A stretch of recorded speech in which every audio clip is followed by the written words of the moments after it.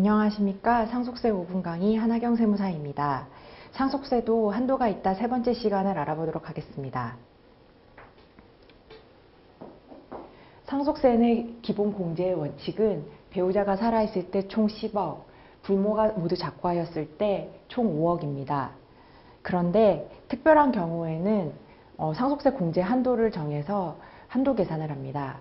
그 첫 번째는 상속인이 아닌 자에게 유증, 사인 증여한 가액이 있을 경우고 두 번째는 10년 이내 사전 증여 재산이 있을 경우에 이 한도를 계산합니다.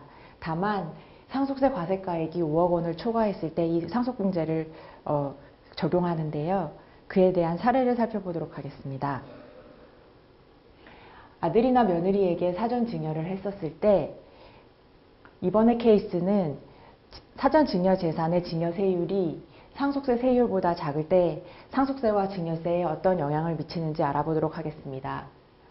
배우자가 살아있다는 전제 하에 총 재산가액이 천만 원이고 어, 배우자가 배우자에게 잡고 전에 4억 원의 현금을 증여하고 또 기타 2억 6천짜리 아파트를 며느리와 아들 이름으로 구매를 해 주었을 때 나오는 효과를 알아보도록 하겠습니다.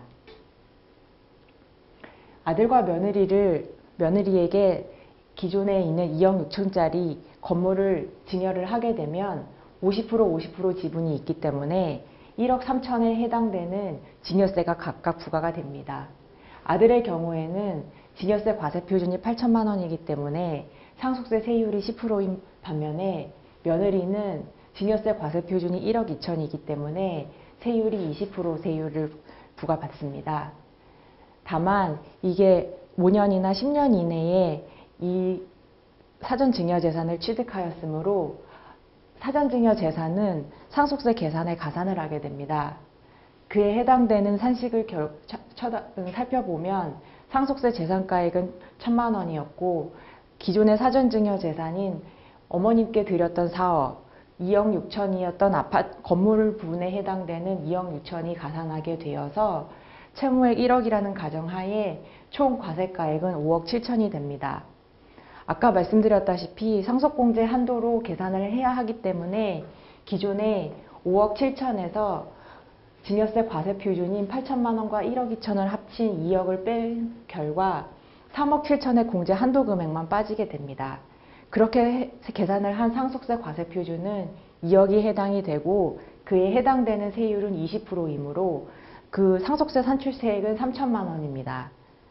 그런데 며느리는 똑같이 20% 해당되는 1,400만 원을 증여세로 납부했기 때문에 사전 증여에 대한 정산이 이루어지지 않지만 아들은 기존의 10% 세율로 이미 부과가 되었기 때문에 20% 세율로 다시 업되어 정산이 돼서 기존에 800만 원이 나오게 됩니다. 그러면 둘이 합치면 2,200만 원이 되고요. 그에 해당되는 결정세액이 800만 원이 됩니다. 정리를 하자면 기존의 증여세는 2,200만 원만 냈지만 총 상속세는 20%로 정산이 돼서 3천만 원이 나왔기 때문에 추가 부담세에 800만 원이 부과가 되는데요.